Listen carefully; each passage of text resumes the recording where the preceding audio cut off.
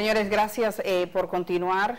A esta hora de la mañana tengo el gusto de recibir a Zenaida Méndez, que viene desde Nueva York. Es dominicana, pero residente ya toda la vida casi. Eh, ella se describe a sí misma de un modo muy peculiar activista de la justicia social. Muy buenos días. Muy buenos días, muchísimas gracias. Yo me alegro que estés aquí y bueno, contigo aquí yo siento de alguna manera que tengo el vínculo con tanta gente buena que conocía ya, a quienes aprovecho para mandar saludos. Sería bueno un poco porque contigo podemos acercarnos a la comunidad dominicana, pero antes de hablar de ellos, que nos contaras un poco lo que haces. Eh, sabemos que eres de Boca Chica, que llegaste a Estados Unidos, has tenido toda tu vida que has tenido la posibilidad de trabajar de cerca con políticos reconocidos en todo Estados Unidos, que has trabajado y sigues trabajando con mucho ahínco, la televisión comunitaria, las organizaciones juveniles. Yo debo decir que fui al centro que dirige Senaida y eso es un centro de mucha vida, de muchos jóvenes, de muchos detalles, de muchas cosas. Cuéntale a la gente. Así mismo, eh, fíjate, mi familia emigró en 1969 hacia Nueva York eh, entonces todo el mundo dice, tú estabas en pañales. era teenager, yo era teenager, 13, 14 años. Muy importante. Eh, eh, me involucré en el activismo a través de organizar inquilinos en Nueva York. Empecé organizando inquilinos mientras estaba estudiando en la universidad. Desde ahí conocí la comunidad, la junta comunal. siempre trabajé para organizaciones sin fines de lucros. Siempre he sido, se me ha reconocido como una activista a favor de, la, de los derechos de la mujer. En 1991 fundé el Caucus de Mujeres Dominicanas con otras compañeras en Nueva York para que la mujer dominicana se integrara en los Estados Unidos, porque la mujer dominicana en Nueva York eh, ayudaba al PLD, al PRD, a Reformita, pero nosotras... No tenía una agenda. No tenía una agenda de nosotras allí, donde nuestros hijos van a la escuela, donde nosotras vamos a los hospitales, donde nosotras eh, vivimos en edificios que no están organizados, y eso fue muy bueno. Eh, para las mujeres, para las activistas. Entonces, desde ahí, en, el, en 1986, el señor David Lincoln ganó como presidente del condado de Manhattan. Se me acercaron porque yo era la única negra, la única latina en mi junta comunal. Entonces, conocía todo eh, mi vecindario muy bien, todos los activistas, todos los proyectos que había en ese vecindario, que son casi 300 mil personas. Entonces acepté el trabajo después de ciertas negociaciones, ¿verdad? De ahí David Lincoln corrió para alcalde en el 89, nosotros organizamos Latinos para David Lincoln y dentro de eso Dominicanos para David Lincoln. Por eso yo digo que la primera vez que el dominicano se insertó en la política de Nueva York fue en el 1989, porque pudimos lograr una coalición eh, muy grande entre eh, los sindicatos, eh, los blancos progresistas, como yo digo, los afroamericanos, los latinos, la comunidad gay, y entonces pudimos hacer esa coalición para elegir el primer alcalde negro de Nueva York. trabajamos duramente, yo trabajé entonces en la alcaldía, primera dominicana. Con, ¿Trabajando en la alcaldía? ¿Qué hacías? Yo era directora de Asuntos Latinos con, David, Dinkins cuando ganó. Eh, siempre se ha dicho que eh, de alguna manera el progreso de los dominicanos en Nueva York iba a estar muy vinculado a su activismo político, que tenían que participar en, político, en política. Hoy los jóvenes eh, hijos de dominicanos que residen allá, todos, digamos, las generaciones, que han crecido en Estados Unidos, ¿están participando en la política? Están participando. Mira, yo estoy trabajando con un grupo de jóvenes ahora mismo, se llaman Dominican Writers.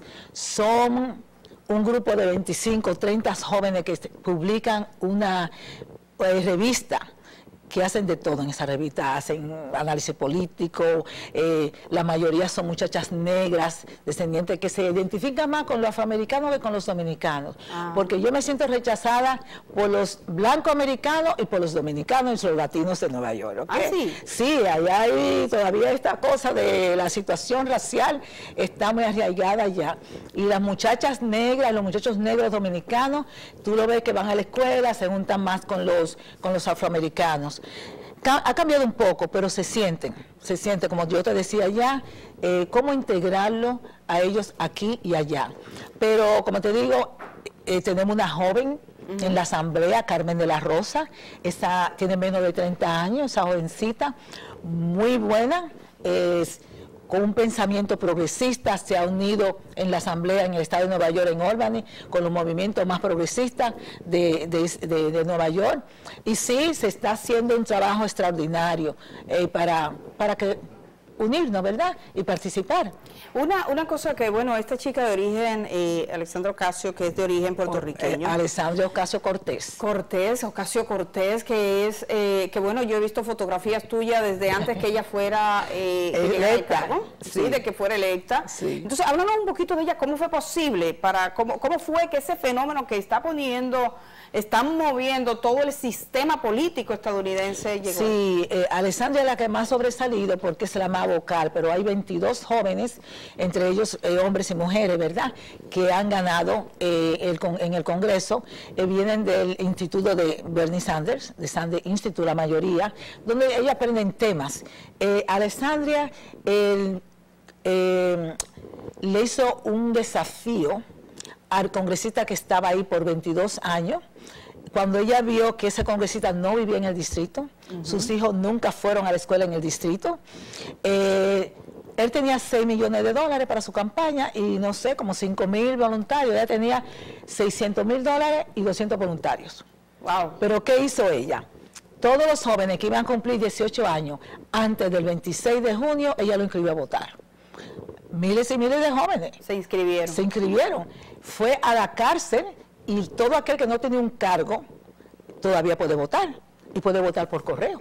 Lo inscribió, le mandó su suscripción para que votaran. Es una estrategia, ok, los que ya están ahí están acostumbrados a Joe Crowley, van a votar por él porque ya se familiarizaron con el nombre, yo voy a inscribir gente nueva para que voten por mí. Y así fue que ganó. Así fue una sorpresa. No, tocando puertas. ustedes pueden buscar eh, eh, los videos, ella tiene una página muy interesante, Alexandra. No, además, acaba de anunciar eh, lo que ella le dice, The Green Way, todo verde, cómo se van a hacer trabajo para el, para el, nuevo ambiente, ¿verdad? Lo que tenemos que hacer. hasta la vocera del Congreso se le rió en la cara. Y ella dijo, no, esto no es una legislación, es una propuesta para que el comité que va a bregar con el nuevo ambiente pueda considerar esa propuesta. Eh, y entonces, eh, eso ha sido un escándalo. Esta muchachita, 28 años, tiene esa visión de dónde debemos de ir en el medio ambiente.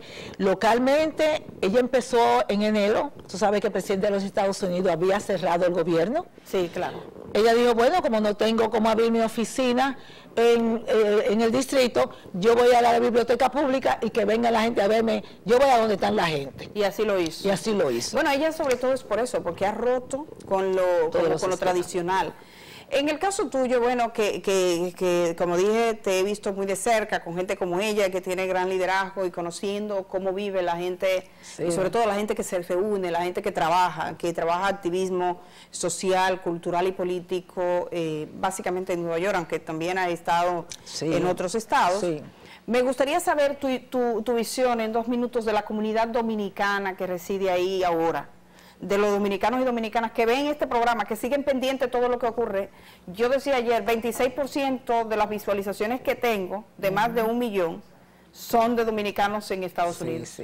Bueno, mira, nosotros estamos pasando por una situación eh, eh, un poco apretada. Y es lo que le decía a algunas compañeras que van allá a buscar apoyo. Digo, quiero que incluya nuestro tema también en, lo que ustedes hacen. Eh, la Marcha Verde convoca ya una marcha y llegan 5 mil, 10 mil dominicanos. Nosotros convocamos una marcha para algo que nos, está, eh, nos están sacando de nuestro apartamento. Llegan cuatro gatos, como yo digo. Ah. Entonces, los dominicanos viven más aquí que allá. Viven allá físicamente, pero siguen pendientes aquí. Ahora votan porque gracias a la ley que pues, tenemos doble ciudadanía, votan aquí y allá. Pero ahora mismo el fuerte más grande que tenemos es en Washington Heights y nos están desplazando, subiéndome el, eh, subiendo el alquiler de una manera exorbitante. Una persona que trabaja lavando plata en un restaurante o cuidando eh, personas ancianas no gana suficiente para ganar, para pagar 3 mil dólares de alquiler al mes. Porque dice que los dominicanos no compraron, que vivieron toda la vida ahí, pero que no son dueños de las propiedades. La mayoría, bueno, yo conozco solamente tres dueños de supermercados o de tiendas que han comprado edificios en esa área. Imagínate. Y allá hay casi 2.000 o 3.000 supermercados de dominicanos. Pero no son dueños de los locales. No, Compraban aquí. Ahora están comprando. Muy caro. Exacto. Cuando hubiesen comprado 30 años atrás, cuando empezaron 35 años atrás, no nos pueden mover. Y déjame decirte, la institución que más nos está afectando es Columbia University. Ah. Ellos son los caseros más fuertes de esa área tienen 40, 50 edificios, están ah, expandiendo, entonces nosotros somos los que sufrimos, porque ellos con la excusa de que van a poner sus profesores, sus médicos en el edificio, nos sacan y después se lo alquilan quien les da la gana. Me gustaría, Senaya, bueno, eh, por supuesto que esto es solo el inicio de conversaciones contigo, queremos tener más presencia y más información de ella.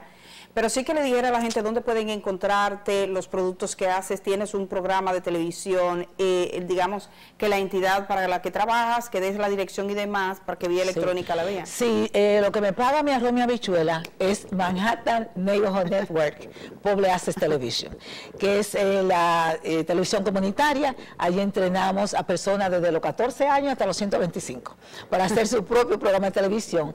Si las personas tienen ya contenido, y quieren poner su contenido, también se lo aceptamos de toda clase del mundo. Oigan eso, atención a la alcaldía del Distrito Nacional y, al Ministerio de Cultura, Educación. O sea, es un centro donde se enseña a la gente a hacer programas ahora y tienen para editar, tienen cámaras, tienen todo. Estudios, una vez que están eh, certificados por nosotros, todo es gratis. Reservan los estudios para hacer su programa de televisión, eh, se llevan las cámaras prestadas en el fin de semana o cuando quieran, vienen, editen Adobe Premiere, lo ponemos en nuestros canales. ¿Cómo le encontramos el canal? Eh, en, mnn.org. M NN, Manhattan Neighborhood Network, mnn.org. Pueden ir ahí donde dice Firehouse, que es la que yo dirijo, tenemos dos locales. Yo dirijo la que está en el barrio puertorriqueño, en el barrio, en la 104, entre Lexington y Tercera. Eh, ahí estamos. Ay, quizás algunos dominicanos se animen, vayan eh, con Zenaida hagan su programa y me lo manden acá. Exacto. A eso puede decir alguien joven de ya que se le ocurra y dice, bueno, voy a ir, se certifica con Zenaida, graba y lo hace llegar y aquí lo estaremos contando. Exacto, y, este programa tenemos que pasarlo allá también. Sí, vamos a pasar este por allá, por la televisión comunitaria. Es, es, importantísimo. Yo te agradezco muchísimo que estés aquí, la verdad que sí, y gracias por toda la atención de toda la comunidad y tuya, que fueron excelentes anfitriones cuando yo tuve la posibilidad de visitar. Pues no es para menos, no es para menos. Te agradezco mucho. Gracias a Sinaya Méndez que he estado esta mañana aquí, desde Boca Chica para allá, porque siguen unidos. Claro. Y gracias a ustedes. Esta ha sido una semana muy intensa. Yo espero que todos descansen, que le hagan la vida ligera a los demás y que aquí nos encontremos el próximo lunes para seguir diciendo la cosa como es a cualquier hora.